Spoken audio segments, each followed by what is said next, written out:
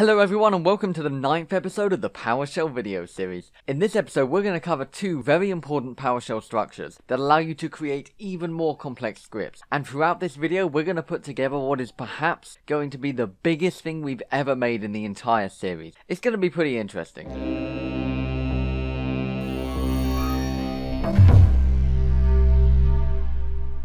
Just before we get into that, I'd just like to say that if you are experienced in programming and know other languages very well, this episode may feel a little bit slow in places, and I'm sorry about that, but I promise you there's a lot of new stuff in here as well, and I'll do my best to keep this video flowing, whether you are or aren't already experienced in programming. We have a lot of ground to cover, so let's dive straight into it. First, before we dive into all the new things, let's make sure we understand the script from the last episode and why exactly it works. To demonstrate this, what we're going to do is use something known as the debugger. This is a tool that lets you visually watch your PowerShell script run line by line. So what you do is you put something called a breakpoint into the code. This is a marker attached to one of the lines in the script. And what's going to happen is PowerShell is going to run the script as normal. You won't get to watch it or anything, it will just go as normal. But then as soon as it hits the line with a breakpoint, it's going to stop there and let you start watching it run step by step. Let me show you. To add a breakpoint in Visual Studio Code, if you put your mouse just over here to the left of the line numbers, you'll see a little red circle appear. And this red circle is the breakpoint. And what you do is you go to the line you want to put the breakpoint on and you click to place a breakpoint on that line. Let's put it on this line here. Because I don't think we really need to watch the input happening. That's not really very interesting. So we'll make it stop right here at the very first if. And now if we run PowerShell through a debugger, as soon as it hits this line, it will pause there and let us manually step through the code line by line watching it go. Let me show you. Now, as hinted at, you can't just run the script in PowerShell like normal. I can't just go run the script and have it stop at this breakpoint, because just running the script normally like this isn't running it through the special debugging tool we need. No, what we need to do is go into Visual Studio Code and go up to Run and press Start Debugging, and this will now run PowerShell through the debugger. And all the inputs and outputs go down here. So let's enter in our grade. Let's say 72. And now when it gets to this line, it stops running and it pauses here. And what I can now do is I can control PowerShell and watch it run step by step. So right now it's stopped here. And if I hover my mouse over the variables, I can look at what's in them, like so. So we can see 72 is indeed in that variable. Now let's make it continue on to the next step, onto the next line. To do this, we'll just press the down arrow here, called step into. And when we press this, what's going to happen is PowerShell is going to move onto the next step, the next line that it needs to run. So let's predict what line that's going to be. So, is this condition true? Is the input greater than or equal to 90? Well, no, it's not. We can see that it's 72. So it's not going to run the code in this if statement. And instead, when we step into, it's going to jump into the else. Now, if the value was 90 or above, it would have just run this if statement and then skipped over all the else which is what we want. No point in checking all these if it's above 90. But it wasn't, so we're doing this here to check if it was one of the other grades. Is it greater than or equal to 80? Nope, so it skips over that and goes into this else. Yet again, is it greater than or equal to 70? Well, actually, yes, it's 72. So it does run this if statement, and we print grade C. And once we've done that, we just skip over the rest of the conditions. Which is good, because if we didn't, this would end up being true, and we'd also print grade D, which was the issue we saw in the last episode. Alright, great, and this script does work, but as I mentioned in the last episode, there is a certain thing we can use to make this more readable. And that thing is called else if, and it's literally an else and an if in one. To join an else and an if together into an else if, all we do is get rid of the opening curly brace on the else here, and get rid of the closing curly brace for this else too. Sometimes it can be a little difficult to find exactly which curly brace matches up to which. And then, after we've removed that, put these two together. And there we are. This is a valid PowerShell keyword. It's an else and an if in one. And we can also merge the rest into else if. So when we're done, we'll be left with this. This is the final thing. Now, the way else if works is exactly the same as what we had before. Only when the if statement above failed will it check this condition. And you can chain lots of else ifs one after another. And when you do that, only when the else if above failed will it check this. So what happens is when PowerShell runs this script, it asks if the percentage is above 90%.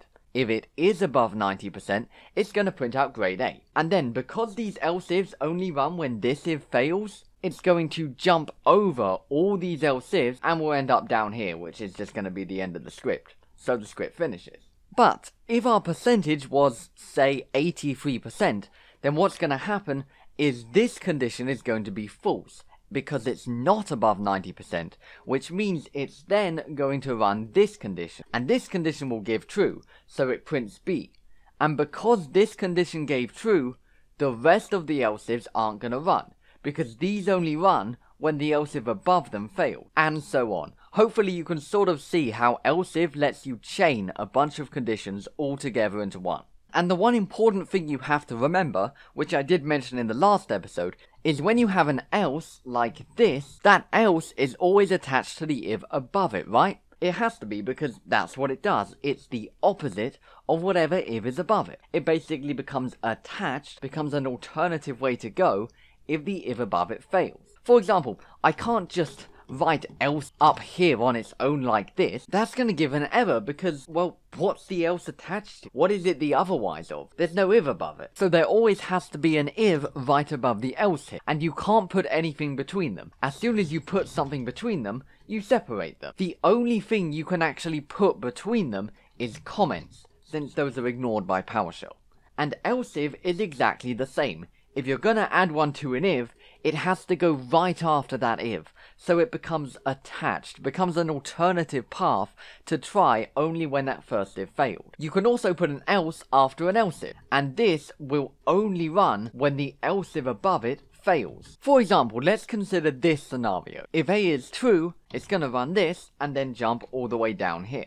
If A is false and B is true, this if will fail, so it's gonna run this, and then this else if will succeed, so it will run this. But if A is false and B is false, then this will fail, so it goes to this, and then this else if will fail, so it will go to the else. So you can put an else at the end of this chain of ifs and else ifs too, as a sort of if none of these were true, do this. So, in summary, we have if statements which run a block of code if a condition is true we have else statements which run if the if or else if above them failed, and then we have else if statements, which are just like ifs, but they only run if the if or else if above them failed. And those are the three keywords for ifs. That's it. That's the entirety of if statements. And if you're not familiar with programming, it may feel a little bit daunting with these three, but with enough practice, you can get quite good at using them. In the description, I've prepared some tasks you can do to practice them. And if you're not already familiar with it from other languages, I highly recommend you pause the video, take a break, and try those out. And there are hundreds more online if you go searching for them. And after you've done that, or if you're already comfortable with these three, let's move on, shall we? Now, we are about to continue with scripting, and I'm about to introduce one more very important control flow structure for controlling how our scripts run. But just before I get to that, I'd like to introduce a new command to you called select object. Now, so far in the series, we've learned quite a lot of commands to help us process objects, like where to filter them down, or for each to get them down to just one property, or measure to measure details about them. And this command is another extremely useful command we can use for processing. Select is a very powerful command, and it allows us to do a lot of different things. It's a really flexible command. It can be used for one thing, and it can be used for another. Let's just run get help on it and see what parameters it has. So when we run get help, you can see that it has a first parameter, a skip parameter, a property parameter, and a dash unique parameter. These are the four main things it lets us do. There are some other things it can do. You can actually create custom objects with it as well, but it's really ugly when really you could just cast a hash table to PS custom object for that. Now, I think some of these parameters might be fairly self-explanatory, and you can probably just try them out yourself. But let's take a look here. Let's get an array of objects to try it on, shall we? How about we just get all of the running processes? That should be good enough. And as we know, this is of course an array it gives back. Now, let's hand select this array and see what it does with different things. Let's start by trying out the dash first parameter. I'll write dash first and I'll say 5. What this does is it gives us a new array with only the first 5 items in it. So it literally just gets the first n number of items. Cool, so that's what that parameter does. We can use select dash first to get only n number of items. That might be useful for something someday. Alright, let's try out select dash skip next. Let's do something like 3.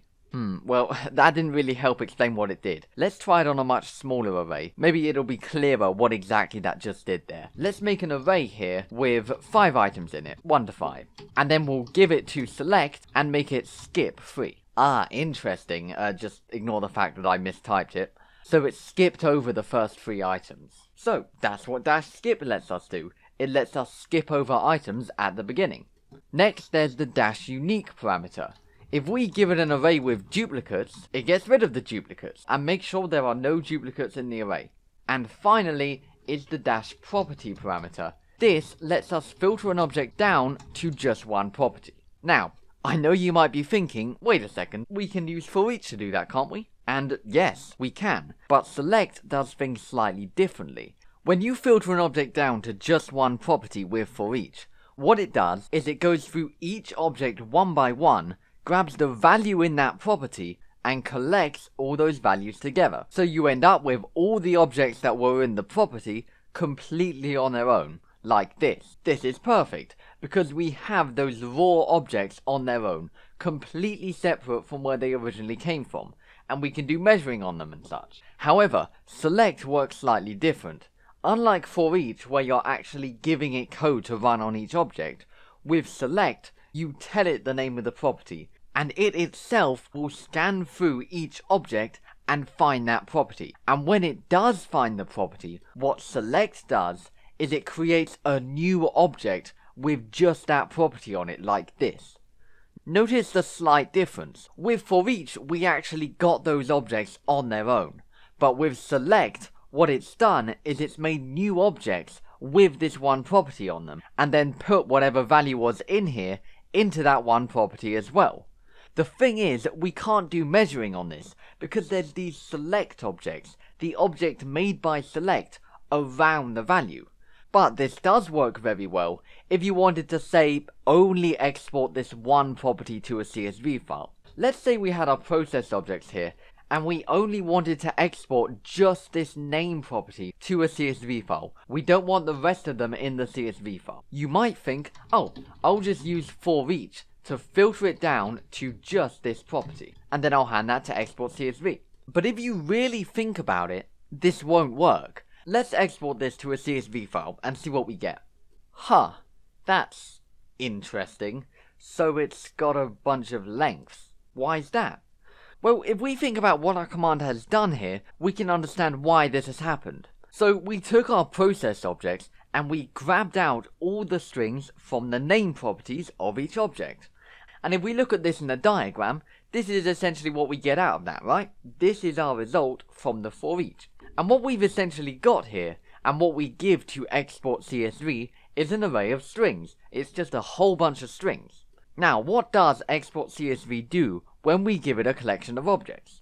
Well, it goes through each object and it writes each property within those objects to the file. That's what it does, right? If we give it an array of process objects, it goes through each property in those process objects and writes them out. And this is fine if we give it, say, an array of processes. But if we give it an array of strings, just an array of raw strings, there's nothing around them, there's no property name or anything like that, well, what's it gonna do? It's gonna go through each string and write all the properties in each one, because that's what it does. The only property we have in a string is the length property, so it literally just writes the length of each string. However, if we had used select, then it's a different story. With select, the result looks like this. Each string is inside, is wrapped in, if you will, this select object with that one property on it. So when export CSV goes to export this, it goes through each of these select objects and it saves that one property in them, which contains our string. so you end up with the correct output. I know it's a little hard to see at first, but that's really the difference between these two. With for each, you literally just pull out the objects, and once you've done that, there's absolutely nothing linking those objects back to where they came from. The property name they used to be in is completely gone, it's just an array of those objects. Which is great for things like measuring because, well, that's what they need. They just need to be given those objects. But sometimes you want to keep those properties as properties. You don't want to just extract the value, you want the property names to still be there in some form in the final thing. You want the objects to be wrapped around by a select object to allow that, and there select is the way to go. There's also one other reason select is useful, and that's that select can actually extract multiple properties. Again, with for each, this isn't really possible unless you create a new object yourself with multiple properties in the curly braces. But because select creates these select objects, you can actually tell it to extract multiple properties and it will put those multiple properties on each of these objects. So I could ask for both the name and the extension, and now I'm gonna get each of these objects with the name and the extension attached to them. If we look at the select command, you can actually see that the property parameter takes in an array, so we can give it multiple properties just by giving it multiple items there. And this is quite useful for things like, again, only exporting certain properties to a CSV file. Alright, great. So after that little tangent, we've looked at how we can debug our scripts. We've taken a look at the select command and at how we can use the if keywords. Now let's take a look at one more control flow structure we have in PowerShell. And this is the other very fundamental one. This is looping. And that will be the last thing for this video, before we then apply what we've learned to make a pretty large script, which will be quite fun. So, an if statement lets you run a block of code if a condition is true and then once it's run that block of code, it moves on to the next thing, right? Well, what if you wanted to repeat a block of code again and again, just keep doing a block of code while a condition is true. So as long as a condition is true, you're going to keep repeating a block of code. Well, you can. Introducing the other fundamental keyword, while. Using this is extremely similar to if. You just write the word while and then in brackets put the condition, and then in curly braces give it a block of code. And that code in the curly braces will keep on repeating again and again while the condition is true. For example, let's take a look at the following code. We put this empty string into a variable called v, and we then say that while variable v is empty, we should run the code in this block. And then inside the block, we ask the user for an input, and then put what they inputted into variable v.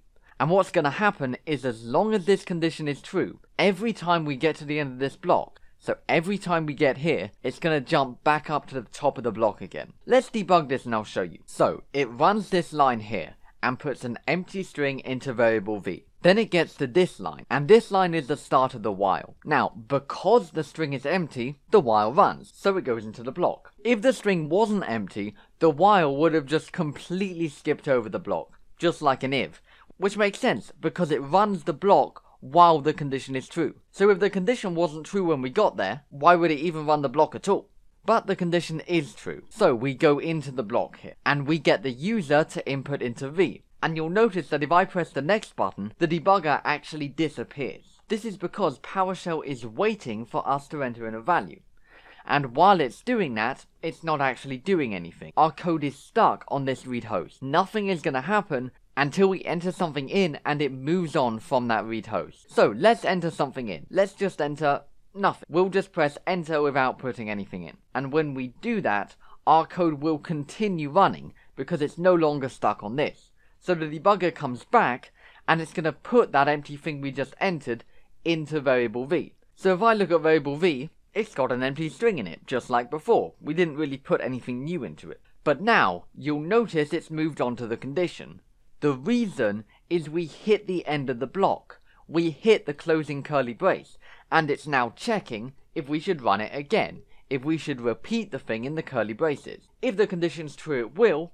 If it isn't, it's going to jump over the block and carry on with whatever's after the while. And that's what the while does. Every time it gets to the end of the block, it checks the condition to decide whether it should go again. It doesn't check the condition in the middle, it doesn't check it every line, it checks it when it gets to the end. So, is the condition true? Yes, it is. The variable is still empty because we entered empty text, so it will run the block again. And if I keep on entering empty text like this, it will keep on trying to do this again and again. It will just keep on repeating this input prompt until I enter something that's not empty. So, if I enter in A, now the variable is not empty. So now let's see what it does. So now it goes up here to check the condition. But you'll notice the condition is false because the variable now has A in it. It's not empty. So when we move on, it doesn't run the curly braces anymore, it jumps down after and the loop stops running. So can you see how this loop kept on running while the condition was true? Well, that's what a while loop does. Now, I have a task for you. I want you to make a program quite similar to this, using a while loop, that asks the user for a number from 0 to 100, like a percentage. And if the user enters a number between 0 and 100, the program prints that number back to them, and it's not a problem. But if they enter a number that's not in this range, then it asks them for the number again.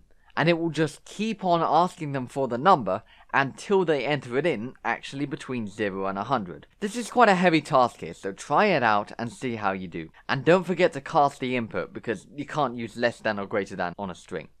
And I'll give you some tips if you get stuck. Alright, my tip is you're gonna need a while loop that repeats the input again and again, just like I had here and the condition is going to be while the input is less than 0 or is greater than 100. That's the condition we want the while loop to repeat in. Alright, let's write it. Here we are in Visual Studio Code. Now again, just start with the first thing that comes to mind. Don't worry about trying to write it in the perfect order first try. So the first thing that comes to my mind is we're going to need a while loop, because we're going to be repeating the input prompt again and again. So in goes a while loop. I'm not sure what the condition is going to be yet, but I do know that inside the loop, we're going to be repeatedly getting this input. So let's do that. And we'll put that into a variable called percentage. And let's not forget to cast it, since it is an integer. Now, what's the condition? Under what situation do we want to be constantly repeating this? Well, we want to keep on inputting from the user while the percentage is not between the ranges of 0 to 100. So let's put that in the while loop. While the percentage is less than 0 or the percentage is greater than 100. And now this will keep on repeating the input again and again so long as the input is not between 0 and 100. As soon as it is between those two, we'll stop. However, there is just one problem with this, and I solved this in the last example. When we first run this code, and it gets to this while for the first time and checks the condition, what's in percentage? When we first run the program, what do we have in percentage? Well, there's nothing in percentage, we haven't set it yet. It's empty. I know you might think it becomes zero in this case, but no, it's actually just completely empty. There's just literally nothing in the variable. It's in a state we call null, which literally just means it's completely unset. It's completely empty, we just haven't put anything in that variable. I'll talk more about the null state in a later video, but ideally if we're going to be using this percentage variable, we'd like to have set it to something at least once somewhere before we try to use it. So let's just try to set it to something like, well, what should we set it to? You might think we should set it to 0, but if we set it to 0, would it even run the loop at all? If it started off as 0, is it less than 0? No, so this side is false. Is it greater than 100? No, so this side is false. So false and false in an OR is going to give us false. So the loop doesn't run. Yeah, so if we set it to 0, it will literally never even run the while loop once. And that's not very helpful, we'll never even get a chance to enter in an input. So let's set it to something that will trigger the while to run. How about minus 1? Perfect, so now this will work. Pause the video, think it through line by line so you can see how it would work. And if we run it, it will do exactly what we said it would. Alright, just before we move on to the mega project we're going to make at the end of this video, there is just one improvement we could make to this. One thing we could do is we could change this into an input, just like down here, and then make this one say try again.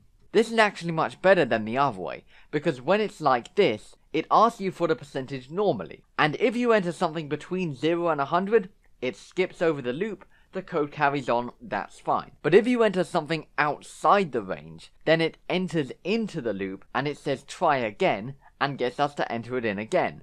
And if we do enter it in correctly there, then it leaves the loop, because when we get to the end, the condition becomes false. But if we don't enter it in again, so if we yet again enter something outside the range, then it's going to repeat again and ask us to try again, and it will keep prompting us and keep asking us to try again until we finally enter it right.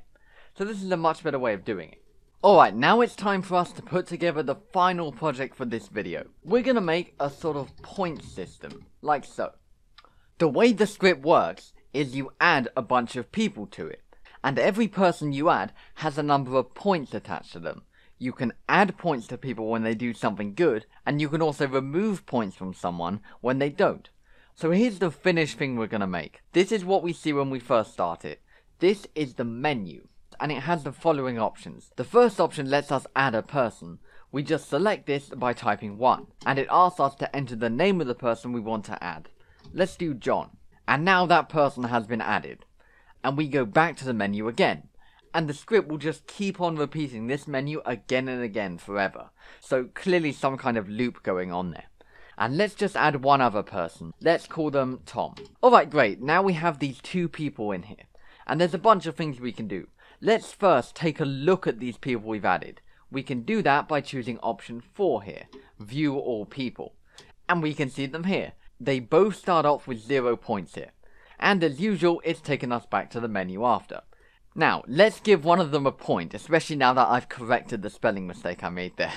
We'll just choose option 2, and then it asks us who we want to give a point to.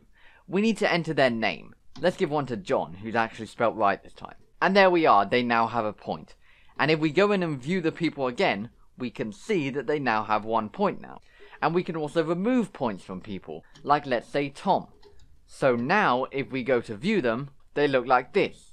You could also add a feature to export all the people to CSV. And there could be a feature to view all the people with more than zero points, and all sorts of things like that. These can all be added as you want, I'll talk about that at the end. So, let's try and make this script. Let's just do a little bit of planning just before we put it together. First of all, how are we going to store, how are we going to hold on to all the people they've added so far? Well, we're obviously going to need a variable to hold on to all the people they've added and the points alongside them, but what are we going to put in that variable to hold all the people they've added? What type of object could we use to store many, many different people in memory?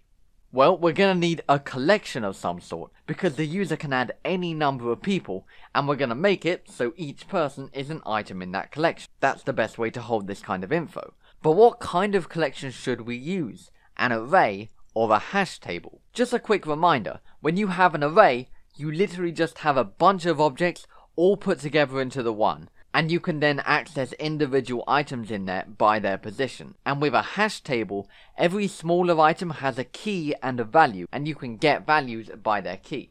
Well, let's take a closer look at what exactly we need to be able to do with these people. So we need to be able to add people to this. Alright, yeah, an array or a hash table will do that. We also need to be able to list all the people in the collection. Well, again, we could do that with either an array or a hash table. Ah, but these things need us to enter the name of a person, and they need to be able to find that person in the collection by that name and give or take a point from it. So ideally, we should use the one that lets us find an item by a key, right? Because for these, we need to be able to enter in the name of a person, and it needs to be able to find that person and add or remove a point to them. So a hash table would be ideal for that. Now, of course, we could still do this with an array. What you could do is for each the array and put an if inside the for each to check whether the current item is what we're after, and you could find that person's position using something along those lines. And there are also some methods available that will take in an array and give you the position of an item for you. The best one is probably a method called index of. This gives you the index, the position of something. So if I had an array like this and I did index of this, it would give back what index that's at. That being said, it would probably be a little bit more complex than that, because each item in the array would have to hold both the name and the points of a person, which means you need to be putting custom objects in there with a name and a points property. And that means getting index of to actually compare what you're looking for against what's in the array properly might not work, because index of basically uses dash EQ inside. It goes through everything in the array and compares it to what you give it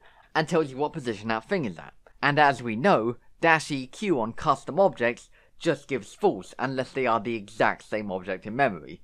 And if you had the exact same object in memory, then you wouldn't be trying to find it. So that's not really very helpful. So trying to do this with arrays would be possible, but it would definitely be a bit of a pain. You'd have to set up your own for each for it to compare and things, so doable yes, but very awkward. Thankfully though, it will be a lot easier, and just more performant, to just use a hash table, which is literally designed for accessing by key, while an array is just designed to hold items. So we're going to hold all the people we've added in a hash table, and the key on each item will be the person's name, and the value will be that person's points.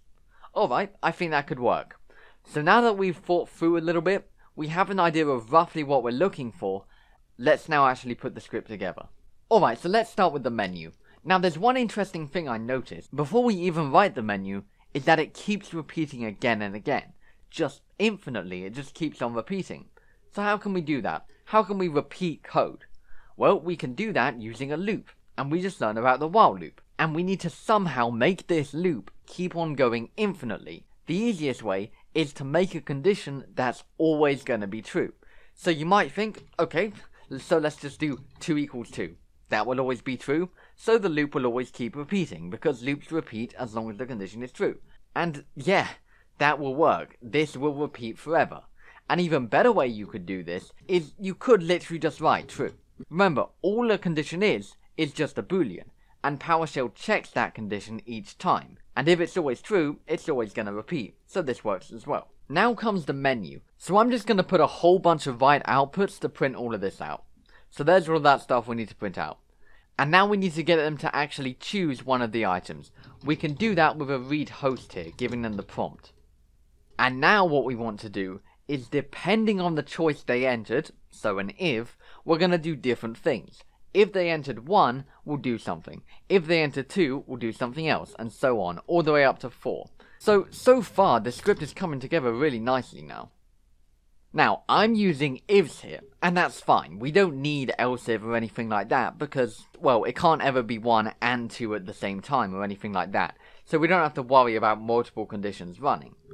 However, it is quite common for people to use else if for things like this, and it doesn't have any effect functionally. It will still behave the same. But because it can never be two of these at once, if we know it's one, there isn't really any point in checking if it's two. You're just making the computer do more work for no reason.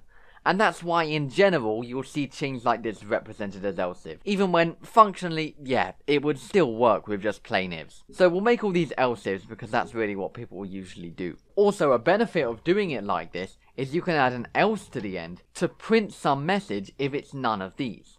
Without the else ifs, it would instead be only when it's not four would it print this message, which would basically mean for all of these it would say invalid input. So else if is necessary for that. Alright, so let's write the code to go in the first option now. What we want to have happen when you choose one. This is the option to add someone. So all we'll do is we'll ask for the name of that person. And then we need to add this person to our hash table, our collection of people. We haven't actually made that yet, so let's just go up to the top, let's say above the while loop, and set the variable people to a new hash table. And we can just make a new hash table like this, that'll be fine. We don't want to do this in here because then it would make a brand new hash table every single time the while loop goes around and you'd lose all the people in it. So just doing it at the top here to set up this hash table when you start the script is fine. And now we need to add this new person they chose to the hash table. Now, how do we do that? Well, we can't use plus equals because if you remember that only works on arrays, and this is not an array. However, there is a method on hash tables we can use. If we just hop into PowerShell, let's make a hash table like so, and let's use getMember to have a quick look at the methods on this hash table. Alright, so here we are. And if you look through here, there's a whole bunch of methods to let you remove things and all sorts, but the one we want is the add method. And if we go over here, you can see that it takes in the key as the first parameter, and the value as the second parameter, and they can be anything. So in our people hash table, the key represents the person's name, and the value is how many points that person has. So when we go to add a new person to that hash table, the key we want to give that is the name we entered here. And the value, the number of points we want to give them, well, that's up to you. How many points do you want a person to start off with? You could have another read host to ask for that, but we'll just use zero here. So every person starts off with zero points. And that is that option done. Let's move on to adding a point to a person. So what we do is we ask who they want to add points to. Like so. And now we need to get this person in the hash table with this name the user entered. And we need to add 1 to the value there. To do that, what we're going to use is the indexer, the square brackets, to get the value that goes alongside the key for what we entered here. Just like so. So we tell the hash table to find the item with this key. Whatever the user entered, whatever's in this variable, we're going to find. And that will give us the value there. That's what the square brackets on the hash table do. You give it the key, it gives you the value. And all we need to do is take that value and add 1 to it, just like that. And that will do the trick. And we'll copy and paste this and do the same for removing an item. Except there, we're going to subtract 1. And now the final part is to print out all the people. That's not really very hard all we need to do is just hand our hash table to format table and leave that to get printed out. And there it is in all its glory. That is how you make the script, and that is the end of this extremely long episode. This practical stuff really does take some time, huh? Anyway, we haven't got too much left to cover, so stay tuned for some more episodes in the future. In the description, you'll also find some ways we could improve this script, because there are definitely ways that we could improve it. And with that said, I will see you all next time. Bye.